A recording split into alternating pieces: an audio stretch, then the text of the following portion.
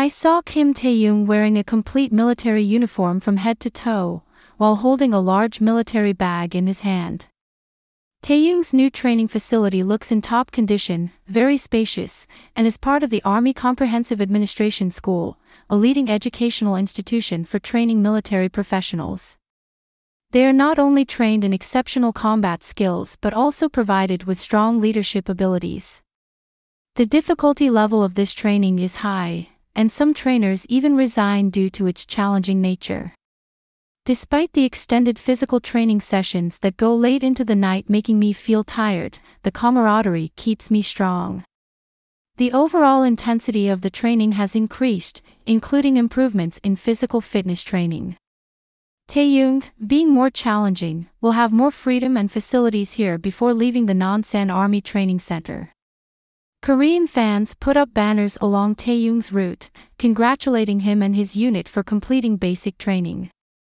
Due to his outstanding performance, Taehyung is honored as one of the six elite trainees who successfully emerged from a pool of 200 recruits. Taehyung also indulged in luxury items, including bags and clothing from Celine. This creates a harmonious impression between the brand and Taehyung's presence in the military.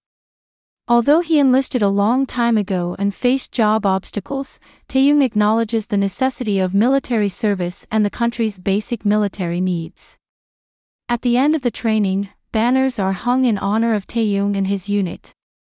He expresses gratitude for experiencing friendship and camaraderie during challenging times throughout the training. Netizens were surprised to learn the amount earned by Kim Taehyung as Celine's global ambassador for a year. This BTS member is confirmed as the luxury brand ambassador for Celine alongside Lisa from Blackpink and the renowned South Korean actor, Park Bo-gum. Taehyung has become the face of this brand, sharing BTS's annual income as Celine's global ambassador.